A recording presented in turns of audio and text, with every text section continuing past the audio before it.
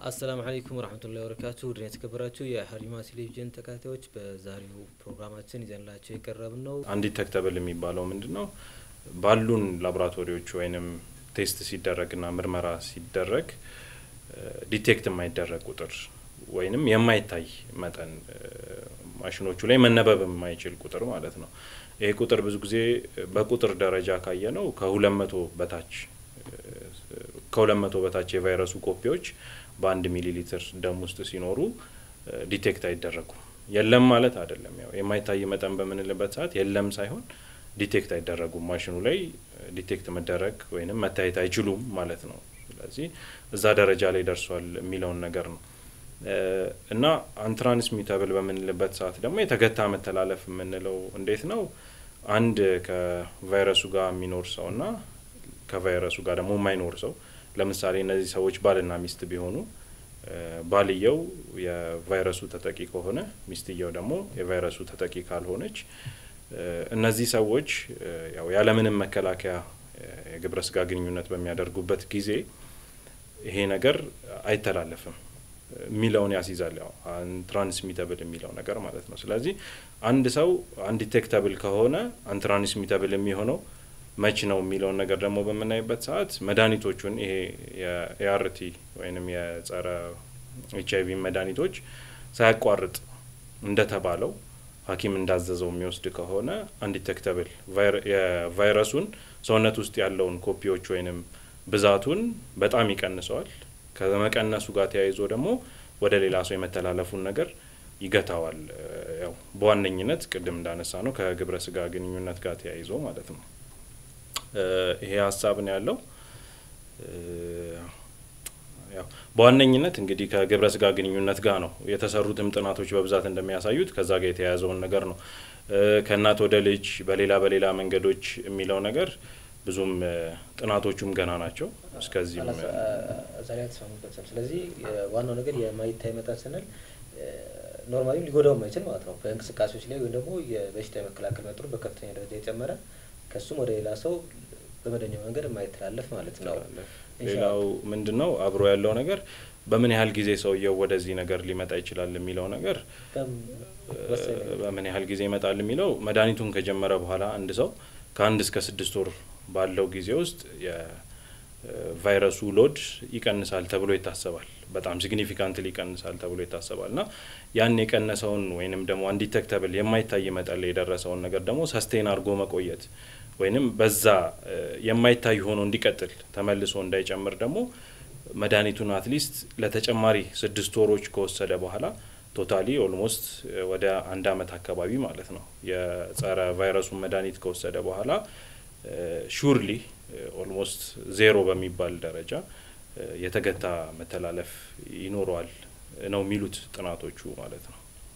አሪፍ ገልጸህልናል። ሺዮሴን ወደ እርሶ ልምጣና ከበሽታ ራስንም ከመጠበቅም ሆነ ተላላፊ በሽታዎችን ወደ ሌላ ሰው አፉን ከበሽታ ራስን ከመጠበቅም ሆነ ተላላፊ በሽታዎች ጋር ሊኖር ስለሚገባው ጥንቃቄ እስልምና ምን ያስተምራል?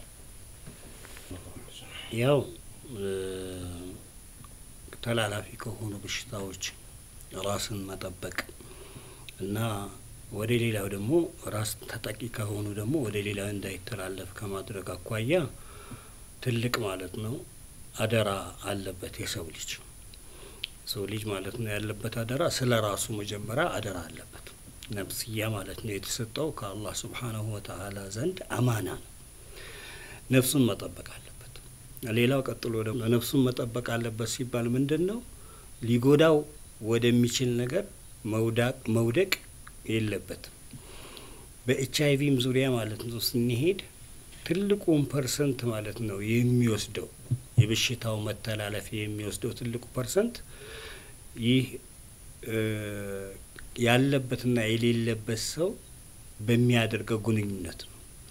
ያለበትና የሌለበት ሰውን ደግሞ ቀድሞ ለማወቅ ቀድሞ ተመርምሮ ራስን ማወቅ ነው መጀመሪያ። ካወቁ በኋላ ደግሞ ማለት ነው ሰውየው እንዳለበት ካወቀ ቤተሰቡን የመጠበቅ ግዴታ አለበት። ልክ እንደ ሸሪያው ቁ አንፉሰኩም ወአህሊኩም እንዳለው አላህ ስብሓናሁ ወተዓላ ሌላው ወላ ትልቁ ቢአይዲኩም ኢለ ተህሉከቲ ነው። እኔ ንጹህ ነኝ ብሎ ወደ ጥፋት መግባት የለበትም። ምን ማለት ነው ይሄ? እኔ ንጹህ ነኝ ባለቤቴም ንጹህ ነች ብሎ ያመነ ከሆነ ይሄን በምርመራ ካጣራ በኋላ ካልሆን በስተቀረ እንዲሁ ማለት ነው ሊሆን ይችላል በሚል በግምት ወደ ጋብቻ ዘው ብሎ ከመግባት መጠንቀቅ ነው። ስለዚህ ራሱን መርምሮ ማወቅ እንደዚሁም ማለት ነው ለጋብቻ የሚፈልገውን ሰው እንደዚሁም ተመርምሮ ጤነኛ መሆኑን ማወቅ ግዴታ ይሆናል። ላ ضረረ ወላ ዲራራ ፊል ኢስላም በእስልምና ላይ ማለት ነው። ራስህንም መጉዳት ሌላውንም ማለት ነው ለጉዳት መዳረግ ክልክል ነው በእስልምና ላይ። ስለዚህ አንድ ሙስሊም የሆነ ሰው ምንድን ነው የሚያደርገው? ራሱን ይጠብቅ። አልዊቃ ኸይሩ ምን አልዒላጅ ጥንቃቄ ማለት መጀመሪያ ማለት ነው መጠንቀቅ መድኃኒት አድርጎ ከመወሰፍ ከመፈወስ ይቀድማልና ያንን ማድረግ ነው ያለበት። እንደ እስልምና ማለት ነው ራስን ጠብቆ ሌላውንም መጠበቅ ነው። ምናልባት ሰውየው ተጎድቶ ከሆነ ራሱን ማዳን መድኃኒትን በመውሰድ ባለሙያን አማክሮ አድርግ የተባለውን በማድረግ እንዲሁም ምናልባት ለሌላኛው ጉዳት የሆነ እንደሆነ ራሱን ከጉዳት መጠበቅና በሱ ምክንያት የተጎዱ ሰዎችን እንዲከላከሉ እንዲጠበቁ ማድረግ ነው የእስልምና ማለት ነው። መርሁ ይሄ ነው። ቅድም ዶክተር ሲያነሳ አንድ ሰው የማይታይ መጠን ላይ ለማድረስ ወይም ደግሞ የጉዳቱ መጠን እጅግ በጣም ዝቅ ያለ ቦታ ላይ ለማድረስ ስድስት ወር መድኃኒቱን ከተጀመረ በኋላ ስድስት ወር መስራት አለበት። በጣም እርግጠኛ ለመሆን ተጨማሪ ስድስት ወር ከወሰደ በኋላ እዛ ደረጃ ላይ ይደርሳል ወይም ወደ ሌላ ቦታው ወደ ሌላ ሰው የማይተላለፍ ደረጃ ይደርሳል የሚል ነገር አንስተዋል። ከዚህ አንጻር ሰበቦችን በእስትቃማ መጠቀም ደግሞ ጸንቶ መጠቀምን እንዴት ያዩታል? ያው እንግዲህ እስከ ስድስት ወር ድረስ የማይታይ ደረጃ ይደርሳል የተባለው ሰውየው አስቀድሞ ራሱን አውቆ መድኃኒት መውሰድ ከጀመረ በኋላ ያለው ነው። መጀመሪያ ብለናል፣ በሽታ ይኖራል፣ በተለያየ አይነት መልክ ይመጣል። ፈውሱ ግን ያለው በማን እጅ ነው? ወኢዛ መሪቱ ፈሁወ የሽፊን ነው። ምልክቱን ከሰጠን ይህን ያህል ማለት ነው። ምልክቱን ከሰጠን ምንድን ነው የሚጠበቀው? ተመልሶ ማለት ነው እንዳያገረሽበት ማድረግ ያለበትን አሁንም የባለሙያ ምክር መቀበል ነው ያለበት። የባለሙያውን ምክር ሲቀበል ሁሌ የራሱን ማለት ነው ሁኔታ እየጠበቀ ነው መጠበቅ ያለበት።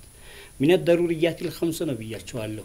ራስን መጠበቅ ከእስልምና ማለት ነው ከሸሪዓ አኳያ አሁን እኔ ንጹህ ሰውነት አለኝ እኔ ይሄኛውን ጣቴን አልፈልግም ብዬ በመቀስ ብቆርጠው ሸሪዓ አይፈቅድልኝም፣ በህግም ያስቀጣኛል። ራሴን እኮ መጉዳት ነው። ስለዚህ ራሱን ማለት ነው መጠበቅ አለበት፣ እንዳይጎዳ ጥንቃቄ ማድረግ አለበት። አብሮት ማለት ነው ያለውም ሰው እንዳይጎዳበት ደግሞ ጥንቃቄ የጋራ የሆነ ጥንቃቄ ማድረግ ይኖርበታል። መድኃኒቶችን በመውሰድ መድኃኒትን መውሰድ ሰበብ ነው።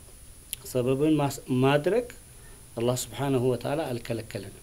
ተወኩላችን ግን በአላህ ነው የምናደርገው።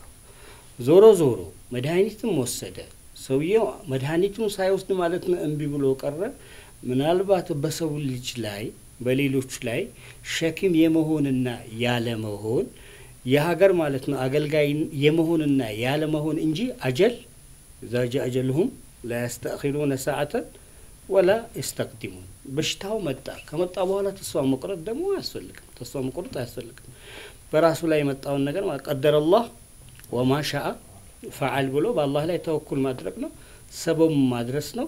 ከዛ በኋላ ማለት ነው ሰብሮ የሄደ እንደሆነ አላህ سبحانه وتعالى ደግሞ ትልቅ ደረጃ ይሰጠዋል። عجبا لأمر المؤمن ይሄ ነቢዩ صلى الله عليه وسلم የሙእሚን ጉዳይ በጣም የሚገርም ነው አሉ። إن أصابته ضراء ሰበረ ፈካነ ኸይረን ለሁ መከራ ደረሰበት የሰበረ እንደሆነ ለሱ ኸይር ይሆንለታል። ወይን አሳበትሁ ሰራኡ ሸከረ ፈካነ ኸይረን ለሁ ደስታ የሆነ ነገር ገጠመው አላህን ያመሰገነ እንደሆነ ኸይር ይሆንለታል። ፈለይሰ ዛሊከ ሊአሐድን ኢላ ሊልሙእሚን እንዲህ አይነት ደረጃ ለሙእሚን እንጂ ለሌላው የለውም። ምን ማለት ነው?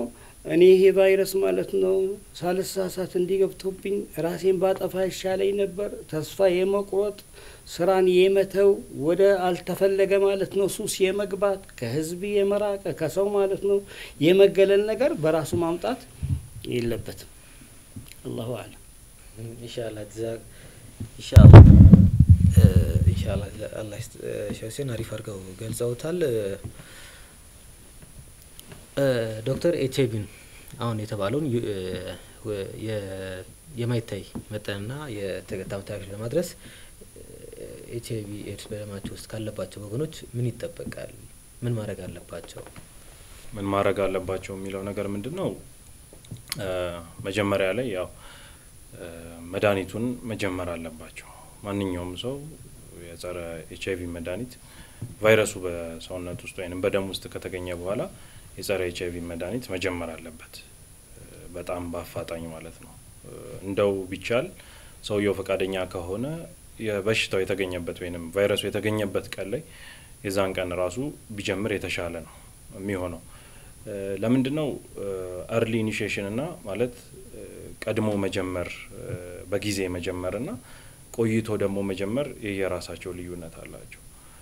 ሰውየው ቀድሞ በሚጀምርበት ጊዜ የሚያተርፋቸው ብዙ ነገሮች አሉ። አንደኛ ሰውነቱም ደና እያለ ነው የሚጀምረው። ቅድም ስንላቸው የነበሩት እነዚህ WBC ዎቹ ወይንም ሲዲ ፎሮቹ ሰውነቱ በሽታ የሚከላከሉት ሴሎች ጥሩ ላይ ያሉ ከጀመረ ይህ ሰውዬ ብዙም ሳይጎዳ ከጀመረ አንደኛ ብዙዎቹን opportunity ውን ወይንም አጋጣሚውን ተጠቅመው ሰውነቱን ሊጎዱ የሚችሉትን በሽታዎች ህመሞች ይቀንሳል። ሁሉም አያጠቁትም ማለት ነው። ሁለተኛ ነገር ደግሞ ለመድኃኒቱም ጥሩ እገዛ ይሆነዋል። ቶሎ አቅሙን በደንብ አሻሽሎ የመቋቋም ደረጃውንም የማሻሻል አይነት ነገር ይኖረዋል። ከዛ በተጨማሪ ደግሞ ያው እነዚህ እንዳለው ኢንፌክሽኖቹም ብዙ risk አይኖረውም። ስለዚህ የሚኖረውም ኑሮ ከሞላ ጎደል ጤናማ አይነት ነገር የመሆን ነገር አለው እና በጊዜም ደግሞ ከተጀመረ ቫይረሱንም ደግሞ ሰውነት ውስጥ ያለው በብዛት እንዳይባዛ በትንሽ መጠን እንዲቀር የማድረግ አይነት ነገር ይኖራል እና ስለዚህ ከምንም ነገር በላይ ምንድን ነው በጊዜ መጀመር። ይሄ ሰውዬ ቢቆይስ፣ አይ ቆይ አሁን አልወስድም ብሎ እየገፋው ቢሄድስ ምን አይነት ነገሮች ሊከተሉ ይችላሉ የሚለውን ነገር ካየን እንደተሰሩትም ጥናቶች አንድ ሰው አርፍዶ የሚወስድ ከሆነ ወይንም stage three stage four ቅድም ስንጠቅሳቸው የነበሩ ነገሮች አሉ። አሁን WHO classify ያደረጋቸው እነዚህ ኤች አይቪ ኤድስን define የሚያደርጉት opportunistic ወይንም እድሉን ተጠቅመው የሚመጡት በሽታዎች ወይንም ህመሞች ሶስተኛ ደረጃ፣ አራተኛ ደረጃ አንድ ሁለት ሶስት አራት ብለን ከፍለናቸዋል። ሶስተኛና አራተኛ ደረጃ ላይ ወይንም ህመሙ በጣም ከተባባሰ በኋላ መድኃኒቱን ቢወስድ ከዛ በኋላ ያለው ነገር ያን ያህል ላይሆን ይችላል። እንደ በፊቱ አመርቂ ላይሆን ይችላል።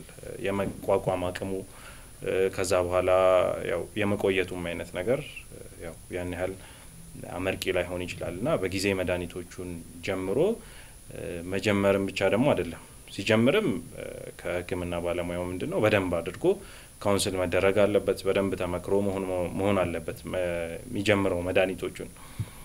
ምን ምን አይነት ምክሮች አሉ? ለምሳሌ አሁን መች ነው መች መች ነው መድኃኒቶቹን የሚወስደው? የመድኃኒቶቹ schedule ምንድን ነው? መች መች ነው መውሰድ ያለበት? ብዙ ጊዜ በቀን አንዴ የሚወሰዱ አይነት መድኃኒቶች ናቸው ያሉት። ከቴክኖሎጂ ጋር የሚሻሻሉ ነገሮች አሉ። አሁንም promising የሚሆኑ ነገሮች አሉ። ወደፊት ይፋ የሚደረጉ ነገሮች ይኖራሉ። እሱ አንድ ነው፣ schedule ኡን ማወቅ። ከዛ በኋላ ምን ያህል dose ነው ይህ ሰውዬ የሚወስደው የሚለውንም ነገር በደንብ in detail ለዚህ ሰውዬ መነገር አለበት። የሚወስዳቸው መድኃኒቶች እነማን ናቸው?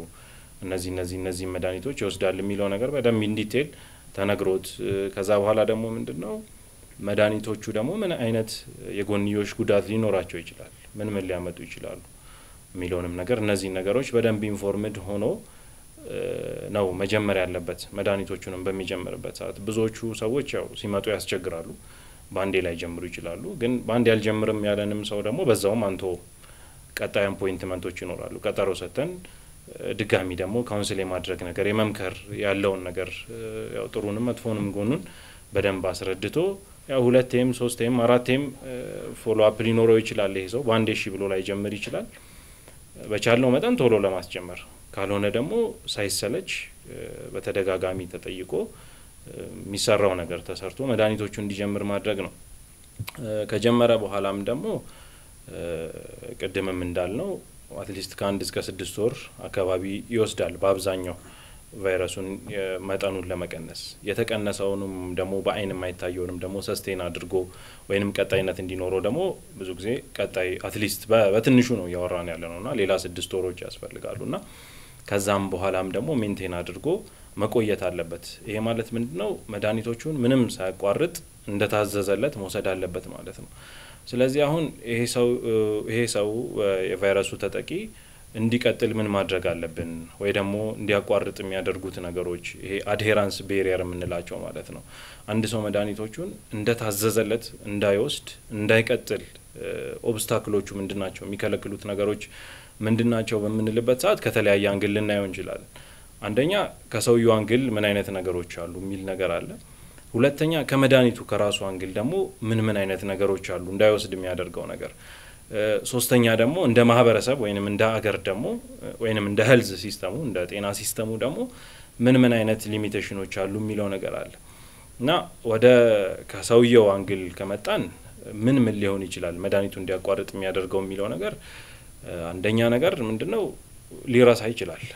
የሰው ልጅ ያው ይረሳል እና ሊረሳ ይችላል። ስለዚህ ረስቶ ላይወስድ ይችላል። አንድ አንድ ምንድን ነው ያው እንግዲህ የሆነ routine ማበጀት ነው ለዛ ነገር እንዳይረሳው በተቻለ መጠን። ለዛ ነው አሁን support ም መኖር አለበት የምንለውም ለዛ ነው። አሁን አንድ ሰው ምንም disclose ሳያደርግ ከሆነ at least ለባለቤቱ እንኳን ካልተናገረ ምንድን ነው ያን መድኃኒት ሊረሳው ይችላል። ግን እንደዚህ ሁለተኛ ሶስተኛ ሰው ካለ የማስታወሱም አይነት ነገር support የማድረጉም ነገር ሊኖር ይችላል። መድኃኒቱን ተከታትሎ እንዲወስድ የማስታወስ አይነት ነገር ምንም ቢሆን እንግዲህ አንድ ሰው ሁለት ሶስት ሰው ሲሆን ይሻላል። እንደዛ አይነት ነገር አለ። አንድ መርሳት ነው። ሁለተኛ ነገር ምንድን ነው ሰውየው ከቤቱ ደግሞ በሚወጣበት ሰዓት ከቤቱ ወጥቶ ሌላ ቦታ በሚሄድበት ሰዓት መድኃኒቶቹን ላይዝ ይችላል። ወይንም ደግሞ ሳያስበው እንግዲህ ለሶስት ቀን ለአራት ቀን ብሎ አስቦ የወጣው መንገድ ደግሞ ሊቆይ ይችላል። አንድ ሳምንት ሊቆይ ይችላል። ገጠር አካባቢ ሊሆን ይችላል። የሄደው መድኃኒቱን access ማድረግ የማይችልበት ቦታ ላይ ሊሆን ይችላል። ስለዚህ በሚሄድበት ሰዓትም መሀል ላይ ሊያቋርጥ ይችላል እነዚህን መድኃኒቶች ማለት ነው። ምንድን ነው በተቻለ መጠን እንግዲህ ይህን ላለማድረግ መሞከር። አሁን support ም መኖር አለበት የምንለውም ለዛ ነው። አሁን አንድ ሰው ምንም disclose ሳያደርግ ከሆነ at least ለባለቤቱ እንኳን ካልተናገረ ምንድን ነው ያን መድኃኒት ሊረሳው ይችላል። ግን እንደዚህ ሁለተኛ ሶስተኛ ሰው ካለ የማስታወሱም አይነት ነገር support የማድረጉም ነገር ሊኖር ይችላል። መድኃኒቱን ተከታትሎ እንዲወስድ የማስታወስ አይነት ነገር ምንም ቢሆን እንግዲህ አንድ ሰው ሁለት ሶስት ሰው ሲሆን ይሻላል። እንደዛ አይነት ነገር አለ። አንድ መርሳት ነው። ሁለተኛ ነገር ምንድን ነው ሰውየው ከቤቱ ደግሞ በሚወጣበት ሰዓት ከቤቱ ወጥቶ ሌላ ቦታ በሚሄድበት ሰዓት መድኃኒቶቹን ላይዝ ይችላል። ወይንም ደግሞ ሳያስበው እንግዲህ ለሶስት ቀን ለአራት ቀን ብሎ አስቦ የወጣው መንገድ ደግሞ ሊቆይ ይችላል። አንድ ሳምንት ሊቆይ ይችላል። ገጠር አካባቢ ሊሆን ይችላል። የሄደው መድኃኒቱን access ማድረግ የማይችልበት ቦታ ላይ ሊሆን ይችላል። ስለዚህ በሚሄድበት ሰዓትም መሀል ላይ ሊያቋርጥ ይችላል እነዚህን መድኃኒቶች ማለት ነው። ምንድን ነው በተቻለ መጠን እንግዲህ ይህን ላለማድረግ መሞከር ማለት ወይ በብዛት ከቤትም ሰውየው የሚወጣ ከሆነ ሰፋ አድርጎ ማሰብ ለአምስት ቀን ከሆነ የሚሄደው አምስት ቀን ብሎ ማሰብ ሳይሆን በዛ አድርጎ ለሳምንትም ለሁለት ሳምንትም ሊሆን ይችላል መድኃኒቱን መያዝ ወይንም የራሱን መንገዶች መጠቀም ይኖርበታል ማለት ነው። ሌላው ነገር ምንድን ነው ከዚህ ጋር ሰውየው ደግሞ ወደ ጭንቀት ውስጥ ወደ ሌላ ወደ አላስፈላጊ ነገሮች ውስጥም ደግሞ ከገባ ከዚህም ጋር ተያይዞ መድኃኒቶቹን ቀጥሎ ላይወስድ ይችላል። ስለዚህ አምኖበት ይሄ ነገር መድኃኒቱን መውሰድ አለብኝ ይሄ ቫይረስ ምንም ማለት አይደለም እስከተቻለ መጠን የተሻለውን የተቻለውን ነገር ማድረግ ይቻላል ብሎ አምኖበት መድኃኒቶቹ መውሰድ አለበት። ሳይሰላች ሌላ ሌላ ጭንቀት ውስጥ ሳይገባ መቀጠል አለበት። ሌላው ያው ሌሎች በሽታዎችን በሚያጋጥሙበት ሰዓት የማቋረጥ ነገር ሊኖር ይችላል። አሞኛል፣ አሁንማ ይሄን እንዴት አድርጌ ይወስዳለሁ የሚልም ነገር አይነት ሊኖር ይችላል እና ሌላው ምንድን ነው ያው እኛ ጋር እንኳን ብዙም የለም አልኮል ምናምን የሚጠቀም ሰው ደግሞ ላያውቀው ይችላል ያለበትን እና ሊዘል ይችላል ዶዞችን የነገውን የዛሬውን ላይወስድ ይችላል የሆነ የሆነ ቀኑን። ስለዚህ ከሰውየው ጋር በተያያዘ እነዚህን ነገሮች በተቻለ መጠን ጠብቆ መውሰድ አለበት። ከሰውየው አንጻር ምን ሊከለክለው ይችላል የምንለውን ነገር ይሄ ነው። ሌላው ምንድን ነው ኢንተረስቱንም ሊያጣ ይችላል። ፍላጎትም የሆነ ሰዓት ላይ ለምን ወስዳለሁ የራሱ ጉዳይ የሚል አይነት ነገር ላይ ሊገባ ይችላል። ስለዚህ ኃላፊነትን ወስዶ መድኃኒቱን ፍላጎትን ሳያጣ አሰልቺ ሊሆን ይችላል፣ ግን በተቻለ መጠን በቃ ይሄ ግዴታ ነው ማድረግ ያለብኝ ነገር ነው ብሎ አምኖ ወስኖ መውሰድ አለበት። ከሰውየው angle በምናይበት ጊዜ እነዚህ ናቸው ያው በብዛት የሚኖሩት ነገሮች።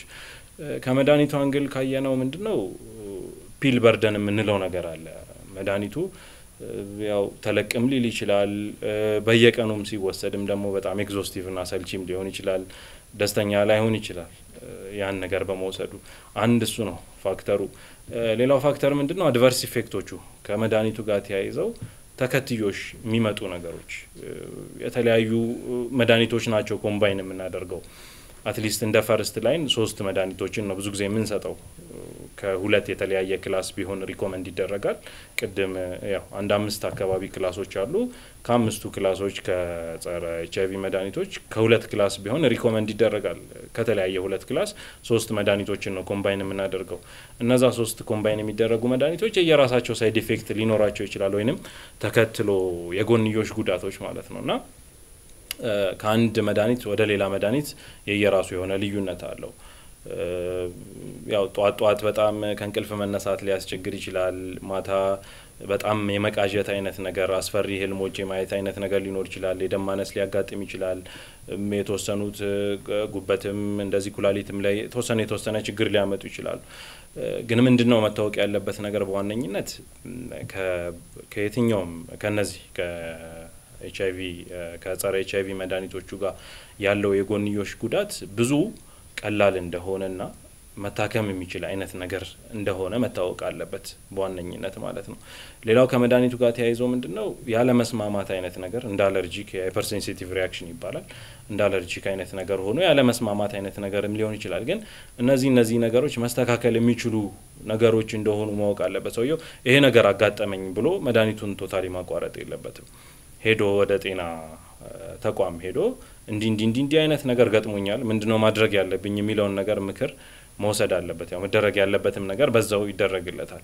እንደ አስፈላጊነቱ ብዙ ጊዜ ያው እንዲቀጥል ነው የሚደረገው መድኃኒቱ። ያን ያህልም ከባድም አይደሉም የጎንዮሽ ጉዳቶቹ። ግን የጎንዮሽ ጉዳቱም ደግሞ በጣም አስቸግሮም ደግሞ ያው ግዴታ መድኃኒቱም ደግሞ መቀየር ያለበት ደረጃ ላይም ከደረሰ ደግሞ መድኃኒት የመቀየርም አይነት ነገር ሊደረግለት ይችላል። ብቻ በሰዓቱ ያለው ነገር ታይቶ የሚወሰን ነገር ነው የሚሆነው እና ስለዚህ ምንድን ነው እነዛ ነገሮች ሳያግዱት መድኃኒቱን መውሰድ ካጋጠመውም ደግሞ ወደ ሕክምና ተቋም ሄዶ ያን ሕክምናውን ማድረግ አለበት።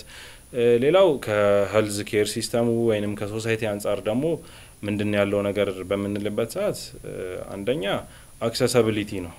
መድኃኒቱን access የማድረግ ነገር ለምሳሌ የሆነ ገጠር አካባቢ በጣም ገጠር ውስጥ የሚኖር አይነት ሰው ከሆነ ሁሌ access ላያደርግ ይችላል። መድኃኒቱን እንደ ልብ ላያገኝ ይችላል። ስለዚህ የማግኘቱ ነገር አንድ limitation ሊሆን ይችላል። ይሄ ሰውዬ ተከታትሎ መድኃኒቱን እንዳይወስድ የሚያደርገው አንዱ ምክንያት ይሄ ሊሆን ይችላል።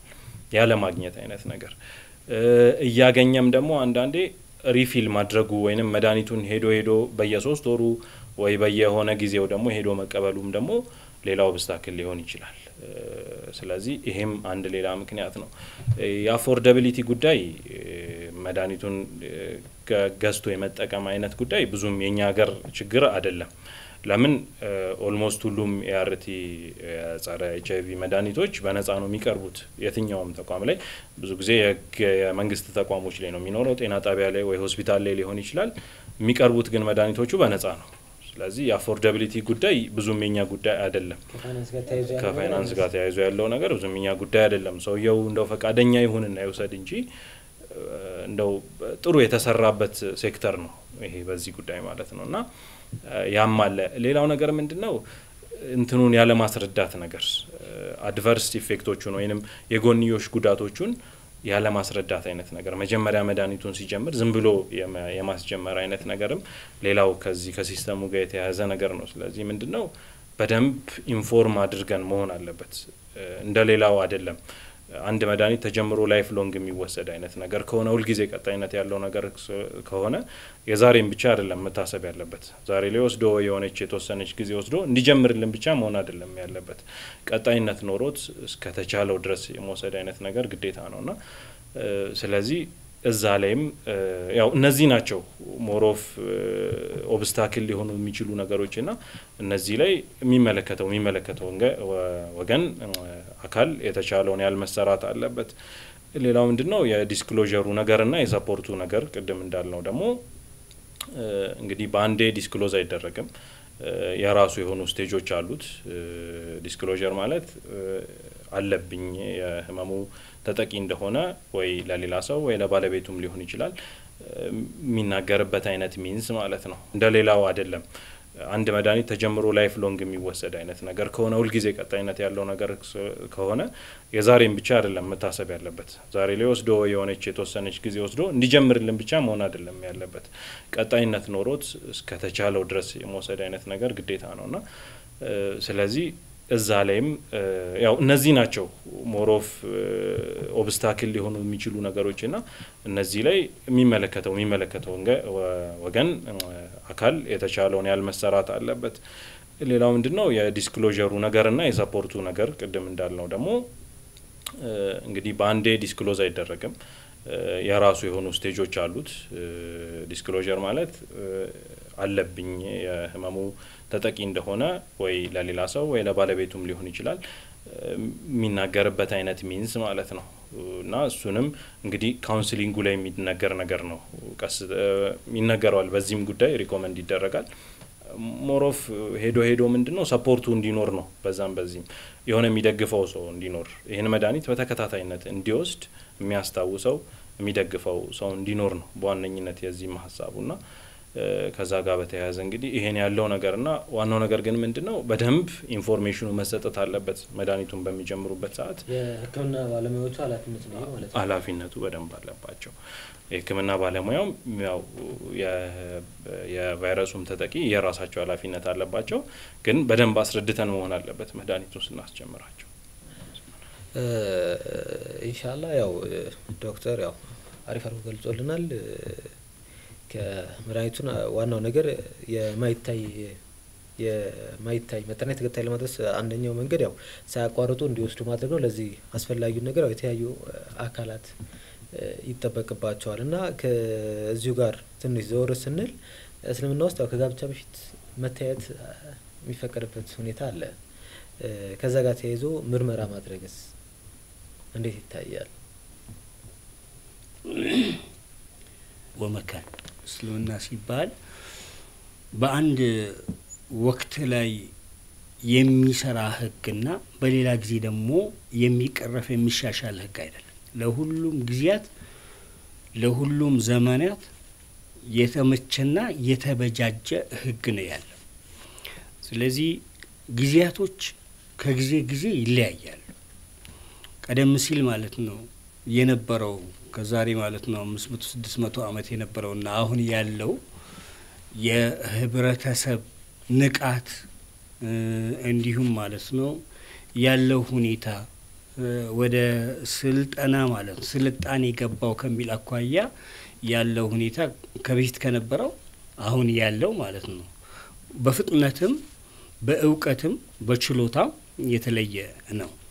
ስለዚህ ቀደም ሲል የነበረው ሁኔታ ማለት ነው በመተማመን ጋብቻ ይፈጸም ነበር። ያ የመተማመኑ ነገር ማለት ነው ገደል አፋፍ ላይ እንደ ቆመ ህይወት ሆነ። ገደል አፋፍ ላይ ማለት ነው ሳር የምትበላ ከብት አጋጣሚ ወይ ንፋስ ሲመጣ ወይም የሆነ ነገር ማለት ነው ሲያስደነብራት እዛ ውስጥ ገብታ ትወድቃለች። ጫፍ ላይ ነው ያለችውና ስለዚህ ምንድን ነው መሆን ያለበት? አሁን ወቅቱ ሁሉም አድርጎ የፈጠረው ወንድና ሴት አድርጎ የፈጠረው ሁለቱም ጎደሎ ስለሆኑ ወንዱ ማለት ነው ህይወቱ የሚሟላው በሴቷ ነው። የሴቷም ህይወት ሙሉ የሚሆነው በወንዱ ነው። ይህ ህይወት ማለት ነው ብዛ የህይወተ ብዛነት ማለት ነው እንዲቆይ የሰው ልጅ ትውልድ ማለት ነው ቀጣይ እንዲሆን አላህ ስብሓነሁ ወተዓላ ይህን ሰው ኸልቆታል። ኸለቀ ዘውጀይኒ ዘከረ ወልኡንሳ አላህ ስብሓነሁ ወተዓላ ኸልቆታል። አሁን ያለው ታዲያ ማለት ነው ጋብቻ ያስፈልገዋል። እርካታም ይፈልጋል፣ ደስታም ይፈልጋል፣ የህይወት ጓደኛውንም ይፈልጋል። እንዴት አድርጎ ነው መምረጥ ያለበት? መምረጥ ያለበት መጀመሪያ ማለት ነው ከምን አኳያ ነው? ከጤና አኳያ ከጤና አኳያ ማለት ነው ማወቅ ያለበትን ነገር ራሱንም ማወቅ የትዳር ባልደረባውን ጓደኛውንም ማንነት ማወቅ ግዴታ ነው። ስለዚህ አሁን ያመጣው ማለት ነው የምርመራ ሁኔታ ዒንደል ኢስላም ከመጣን ወደ እስልምና ከመጣን ምንድን ነው የሚሆነው? ግዴታ ይሆናል። አሁን ለማወቅ ራስን ለማወቅ ወደ ዋጅብ ማለት ነው። ማላ የቲሙ ልዋጅቡ ኢላ ብሂ ፈሁወ ዋጅቡን ይላሉ እሱልዮቹ።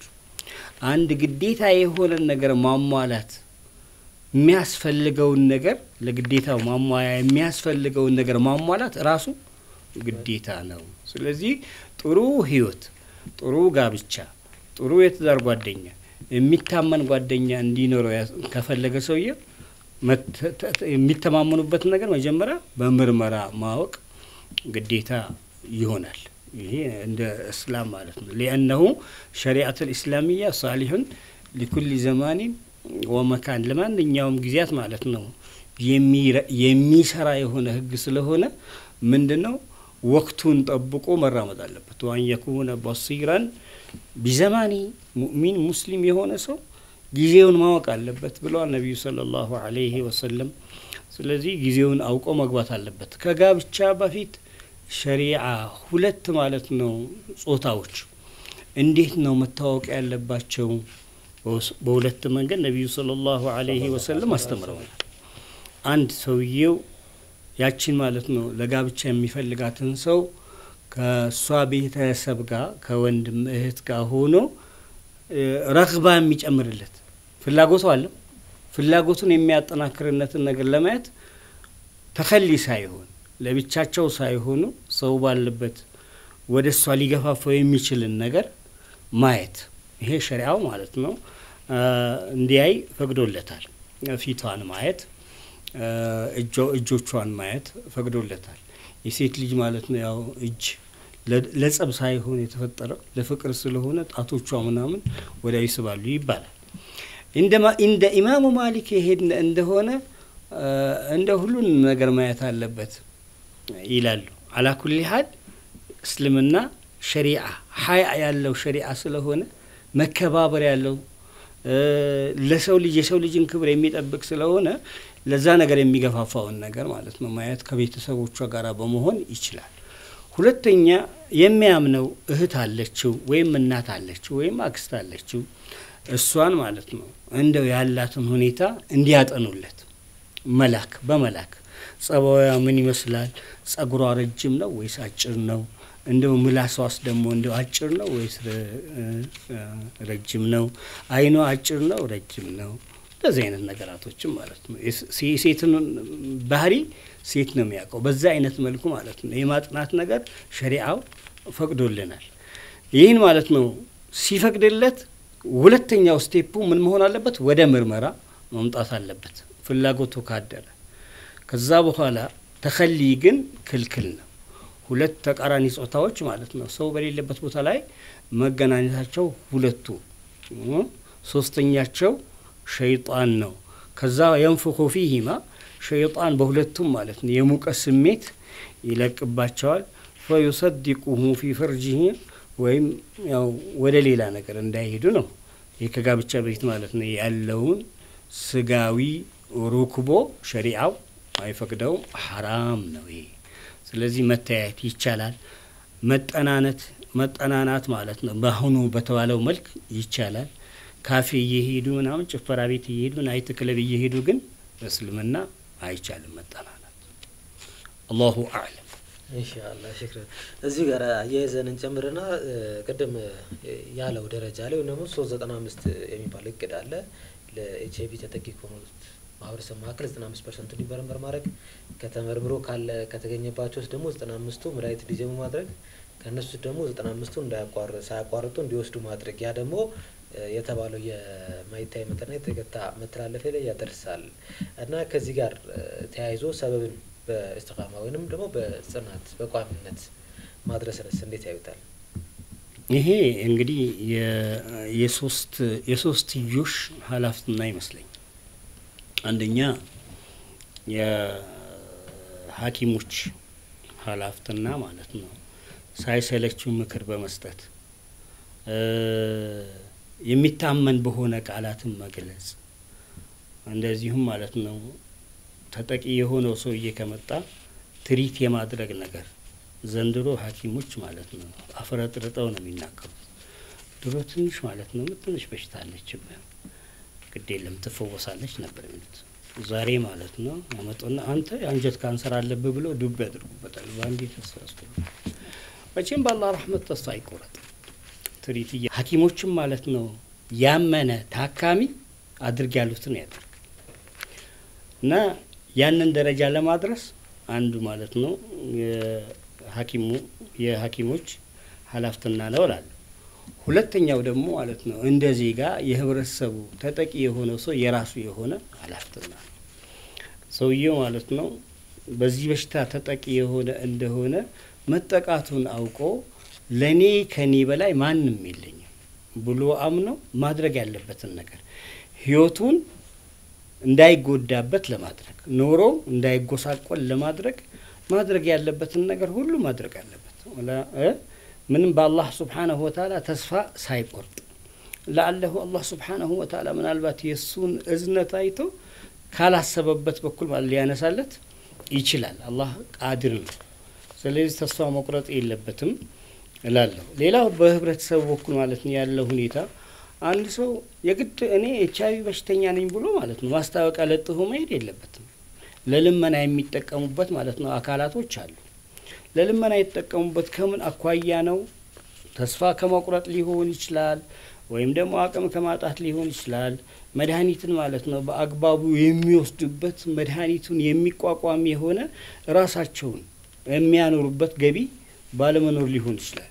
እኔ እሱንም ቢሆን ማለት ነው እንደው ብዙም አላበረታታው እንደውም መወገዝ አለበት ነው። አንዳንድ ማለት ነው ቦታ ላይ ብዙ ማለት ነው እቃ ይዘው እንዲህ ተጠቂ ነኝ ብለው የሚባልበት ያ ራሱ ሰዎች ራሳቸውን እንዲደብቁ ያደርጋቸዋል። ከማን እንዲደብቁ? ከራሳቸው እንዲደብቁ ያደርጋል። ያንን ማለት ነው እንደው ህብረተሰቡ በዛ አይነት መልኩ ታማሚም በዛ አይነት መልኩ ባይገልጸው ግዴታም አይደለም ከሕክምና ባለሙያው ጋር ተገናኝቶ ራሱን ማለት ነው ሰብር አድርጎ ተስፋ ሳይቆርጥ ራሱን መገንባት አለበት እላለሁ። ሶስተኛ ምናልባት እንግዲህ ወደ ሃይማኖት አስተማሪዎች ጋር በመጣበት ጊዜ ይህ በሽታ የሚመጣው ዘጠና ምናምን percent ኡ ወይም ከሰማኒያ አምስት percent በላይ ማለት ነው ሊከሰት የሚችለው በግብረ ስጋ ግንኙነት ነው ብለናል። ግብረ ስጋ ግንኙነት በአንድ ማለት ነው በተወሰነ ሰው አይመጣም። አንድ ጊዜ አንድ ማለት ነው ትልቅ ሙሐመድ ሙተወሊ ሻዕራዊ የሚባሉ ሰው የትምህርት ሚኒስቴር በነበረበት ጊዜ ወደ አሜሪካ ማለት ነው ለጉብኝት ሄደው ነበር እና እዛ ሲሄዱ ጥያቄ ነው interview ያደረጓቸው። እናንተ ሙስሊሞች አምስት ስድስት ማለት ነው አምስት ስድስት እንግዲህ እነሱ ለማጋና እንደዛ ተጠቀሙት። አራት ሁለት ሶስት አራት ማግባት ትፈቅዳላችሁ? ይሄ እንዴት ነው ከኤች አይቪ አኳያ ብለው አሏቸው። ሸሪአው ይፈቅዳል ሸሪአው ይፈቅዳል ነገር ግን አንድ ጥያቄ ለጠይቃቸው ነው። የአሜሪካን ወታደር ሁሉ ትዳር የለውም። የአሜሪካን ወታደር ትዳር የለውም። በሀገራችሁ ደግሞ ማለት ነው ለሴተኛ አዳሪዎች license ሰጥታችኋል። license ሲሰጡ እነዚህ ሴተኛ አዳሪዎች ጋር አብዛኛው የሚሄዱት የአሜሪካን ወታደሮች ናቸው።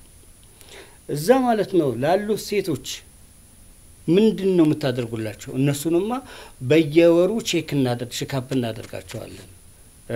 license የተሰጣቸው ራሳቸውን እንዲያውቁ ይደረጋል። ለምንድን ነው ያን የምታደርጉት ብለው ጠየቁ። መልሰው ጠየቋቸው። አይ ያም ያም ከእነሱ ጋር ግንኙነት ስለሚያደርግ ነው። ጥሩ ለምን ለሴቶቹ ማለት ነው license እንደሰጣችሁ ለወንዶች ማለት ነው ለሴተኛ አዳሪ እንደተባለው የወንድ ማለት ነው አዳሪዎች ለምን license አልሰጡ ብለው ጠየቋቸው። አይ ወንዶችማ ይሄዳሉ፣ ለምን ሴቶች አይሄዱም ወደ ወንዶቹ? ተፈጥሮ ይከለክላቸዋል። እንግዲያው ሸሪዓ የሚከለክለው እናንተ በበሽታ እንዳይጠቁ ነው ለነሱ license እና ምርመራ የምታደርጉት። ሸሪዓ የሚፈቅደው ለአንድ ወንድ ሁለት ሶስት አራት የሆነ እንደሆነ ሙስሊሞቹን ሄዳችሁ check ታደርጋላችሁ ወይ ብለው ጠየቁ። አይ አናደርግም። ለምንድን ነው የማታደርጉት? ኮርማቸው አንድ ስለሆነ ነው። የሚጠቁት በስንት ነው? በአንድ ስለሆነ።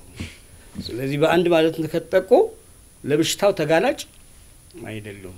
በዚህ ነው አሳምነዋቸው ሸሪአው ማለት ነው እንዲህ ፈቅደዋል፣ ለዚህ ነው የፈቀደው የሚለውን ነገር ውስጥ አልገቡም። ተጠቂነቱ ግን በአብዛኛው የሚመጣው በማን ነው? የተፈራረቀ ወንድ የተለያየ ወንድ የሚፈራረቅባት ሴት ላይ በሽታው ስለሚመጣ እዛው ጋር አያይዞ አንድ እንዲመልሱ የሚፈልገው ነገር የኤች አይቪም ሆነ ማንኛውም መድኃኒት ሰው ይወስዳል። መድኃኒት እየተጠቀመ ዱዓ ማድረግ፣ ሰደቃ መስጠት፣ ዱዓ ያድርግ። ሀታ መድኃኒትን እንኳን ሲወስድ የቂን ምንጊዜም ቢሆን ማለት ነው በአላህ ነው ማድረግ ያለበት፣ ሰበቡን ማድረስ አለበት። ከዛ በኋላ ተወኩል አድርጎ ያንን ነገር መፈጸም ነው ያለበት። አላሁ ኢንሻአላህ ከመድኃኒቱን ከመውሰድ ከመጽናትና አብዛኛው ያው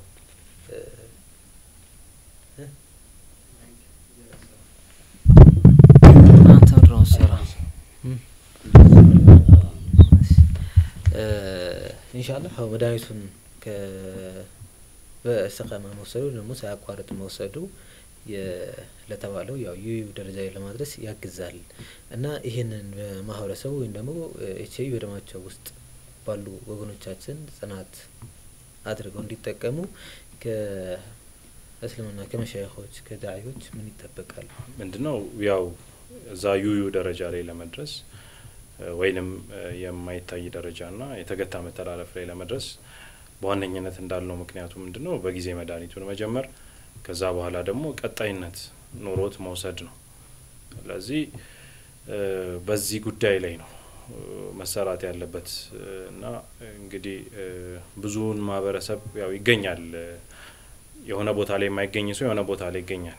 ስለዚህ በሆነ በሚዲያው በምናምን cover መደረግ የማይችለው ሰው maybe የሃይማኖት ተቋሞች ላይ ሊገኝ ይችላል እና በተቻለ መጠን recommend መደረግ አለበት ብለን እኛ የምናስበው ነገር ምንድን ነው? አንደኛ ያ በዛ በቫይረሱ የተጠቃው ሰውዬ ኃላፊነትን መውሰድ እንዳለበት እና ያንን ደግሞ ያው በቃ የአላህ ቀድር መሆኑን አምኖ መቀበል እንዳለበት እዚህ ላይ እንዲሰራ ያው ሞሮፍ የማስተማር አይነት ነገር ማለት ነው።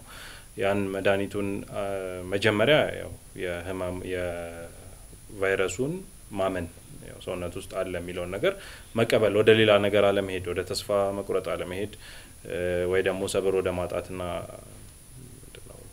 ትዕግስትን ወደ ማጣት እንዳይሄድ የምክር አይነት ነገሮችን ቢሰጡ፣ ሌላው ደግሞ ከማህበረሰቡ ጋር ባለው ነገር ደግሞ ይሄ ከቫይረሱ ጋር የሚኖር ሰው ከታወቀና ሌላ ከታወቀ እንትን እንዳያደርጉ ማለት የመገለል አይነት ነገር የመድሎ አይነት ነገር እንዳይኖር ሰፖርት እንዲያደርጉት እዛ አካባቢ ያለው ነገር እንዲህ እንዲህ አይነት ነገሮች ላይ ማህበረሰቡንና ሰውየውንም ቢሆን የማስተማር አይነት ነገሮቹ ላይ ቢሰሩ እንላለን። እንደኛ በዚህ ላይ ይህንን ነገር ያው እዚህ ደረጃ ለማድረስና ሰዎች በኢስቲቃማ ወስደው ህይወታቸውንም እንዲያሳምሩ ለሌሎችም እንዲተርፉ ከማድረግ ለማድረግ የሚደረገውን ትግል ጥረት ከማገዝ አንጻር የኢማሞች የኡስታዞች የመሻይኾች ድርሻ ምንድን ነው? ኢማሞች አብዛኛው መስጂድ ውስጥ ያለውን ሰው ያሰግዳሉ። ሳምንታዊ ማለት ነው። ዲስኩርም ቁጥባም አላቸው። ያንን ያደርጋሉ። ይሄ ሙስሊሙን ህብረተሰብ በተመለከተ ማለት ነው። እንደ ሃይማኖት ማለት ነው። መሪዎች፣ ሰባኪዎች ደግሞ ሁሉም ቤተ እምነቶች በሽታው መኖሩ ይታወቃል። በሽታው ማለት ነው መኖሩን የሚታወቀው ተመርምሮ በሚገኘው ውስጡ ላይ ደሙ ላይ በተገኘው ቫይረስ ነው። ቫይረሱ ደግሞ ማለት ነው ወደ በሽታ የሚሄድበትም ደረጃ አለ። ወደ በሽታ እንዳይሄድ ደግሞ የሚከላከሉበት መድኃኒት ማለት ነው እንዳለ ተገልጿል። ስለዚህ እኔ የምለው ኢማሞች ወይም ዳዒዎች ምን ያድርጉ የሚለው አንደኛ የሚያስተምሩትን ህብረተሰብ አብዛኛው ይሄ ቫይረስ ሊተላለፍ የሚችለው በግብረ ስጋ ግንኙነት ስለሆነ ሐራም ከሆነ ግንኙነት እንዲቆጠብ ማስተማር ነው። አላህም አላሁ አለይሂ ወሰለም አንድ ሰው አሉ ልጅ ማለት ነው የወለደ እንደሆነ ሰላት እንዲሰግድ በሰባት አመት ይዘዘው። አስር አመት የሞላው እንደሆነ ሰላትን በማቋረጡ ይቆጣው። ትንሽ ማለት ማስፈራሪያ ማለት ነው። ትንሽም የሚግረፈው እንዲሁም በዚህ እድሜያቸው ደግሞ መኝታቸውን ይለይላቸው፣ በአንድ ላይ እንዳይተኙ ያድርግ። ይህ ማለት ስነ ጾታን ማስተማር ነው። ስለዚህ ሸሪአችን ማለት ነው ይነግረናል። አላመቱል ቡሉግ የጉርምስና ምልክቶች ምን ምን እንደሆኑ አስቀምጦልናል። ለሴት ምን ያህል ቤተኛዋ እድሜ ለጉርምስና ማለት ነው ወይም ለስሜት ተነሳሽነት ሊኖራት እንደሚችል ለወንድ እንደዛው ማለት ነው እንደሚችል ወከዛሊከ ራስን ከመጠበቅ አኳያ አሁን እንግዲህ እኔ እንደሚመስለኝ ከሆነ አንድ አባት እድሜሽ ስንት ነው ብሎ ለልጁ ሞዲየስ ልግዛልሽ ወይ ብሎ የሚጠይቅ ያለ አይመስለኝ። ይሄ ከሸሪያ አኳያ ማለት ነው የሚደባበቁት ነገር አይደለም። ስለዚህ ሀይድ አይተሻል ወይ አላየሽም፣ እዛ ላይ ማለት ነው ሲያስቀራ ሀይድ እንደዚህ አይነት ማለት ነው ደም ነገር ያየሽ እንደሆነ ንገሪኝ ብሎ ሊያስተምራት ይገባል። ከዛ በኋላ ማለት ነው በዚህ አይነት ስነ ጾታዊ ትምህርት ለልጆቹ የሰጠ እንደሆነ ወደ መጥፎ ደረጃ ማለት ነው እንዳይደርሱም ደግሞ በዝሙት በጓደኛ ግፊት እንዲሁም ማለት ነው በተለያየ ወይ በፊልም ወይም በሆነ በመውጣት ምክንያት ለዝሙት ተጋላጭ ማለት ነው እንዳይሆኑ ማስተማር።